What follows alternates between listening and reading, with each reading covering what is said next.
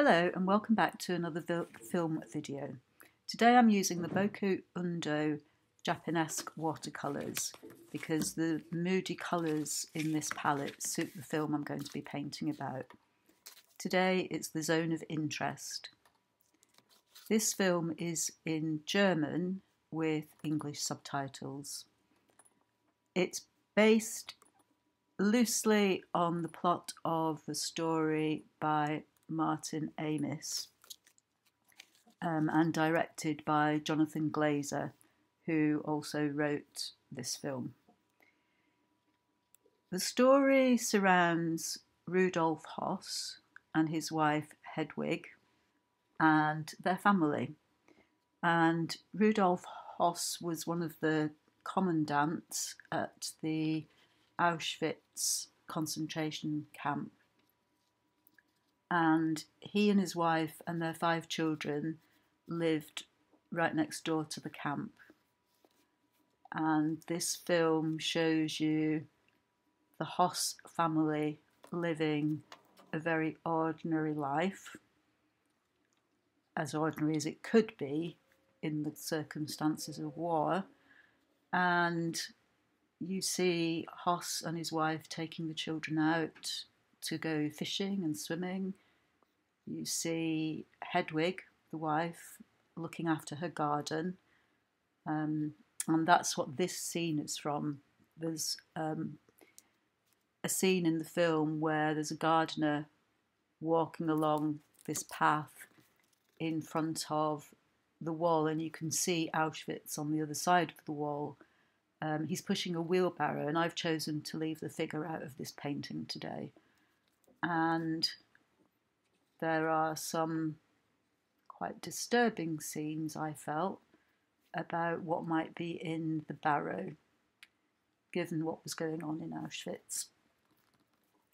So the family go about their life, and Hedwig um, is seen trying on the clothes that have been taken from some of the prisoners, um, and in particular, a fur coat. And it's scenes like these throughout the film which made me stop and think about how life must have been for people like Hoss and his family. Um, and how heartless it was, really. I, did find this film very thought provoking because it presented things from a different point of view. We're more used to seeing what life was like as a prisoner in Auschwitz. Um, and the Hoss children living in the house next door to Auschwitz would be hearing the screams and the shouts and the gunshots and the sound of the trains and the sound of the furnace. Um, and that is one of the things that runs through the film is this soundtrack of these noises that would have been around Auschwitz um, at that time.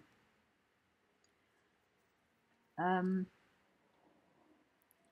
the the film overall is well made and it kept, certainly kept me engaged for the whole film. And there are interesting sequences in it where a Polish girl who lives nearby sneaks out at night and hides food for the prisoners um, at their work sites.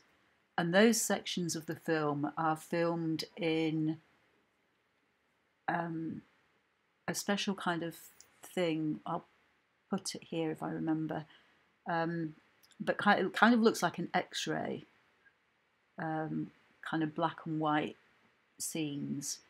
Um, and it turns out that the these particular scenes are based on the true story of a girl who, who lived there and, and used to do that. So this um, film stars Christian Friedel as Rudolf Hoss, the commandant, and San- Sandra Heuer as Hedwig. I felt the acting was was really good, um, and I did have to concentrate with the subtitles. Overall, my feeling about the film was one of deep sadness, um, and yeah, deep sadness was how I felt um, when I came out of it.